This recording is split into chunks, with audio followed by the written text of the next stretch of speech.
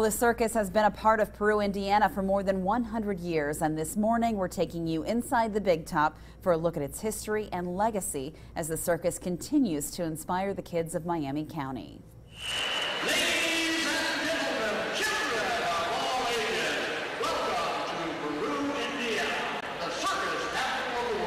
The circus capital of the world. How did Peru, Indiana get that prestigious title?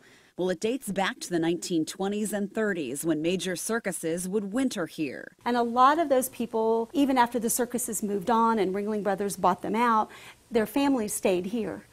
Daughters, sons, grandchildren, and even great grandchildren of famous circus performers call Miami County home to this very day. So the flying trapeze, the tightrope, the clowns, even the unicycle, it's in their blood. And with that history of talent, the Peru Amateur Circus was born. Peru Circus has been here for uh, 54 years.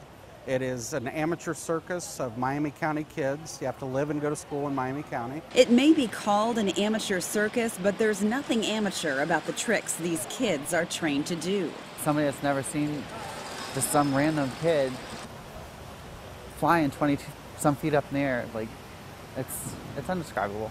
They fly through the air, they spin, they give their heart and soul, and they do it because they love it. No payment other than the roar of the crowd. We have a secretary, an executive secretary that's paid. Everybody else is volunteer.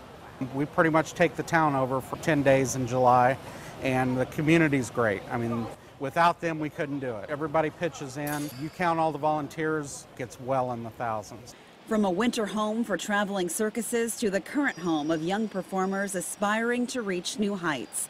The Big Top is an old lumber yard, now the circus's permanent home. Peru's history takes center ring in July, and you're invited. Come to the circus, and may all your days be circus days.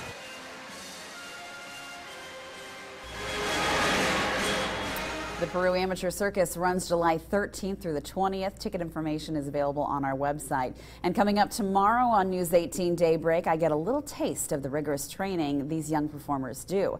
I mustered up the courage to learn the flying trapeze. Again, you'll see that tomorrow morning right here on News 18 Daybreak. Well, switching gears and talking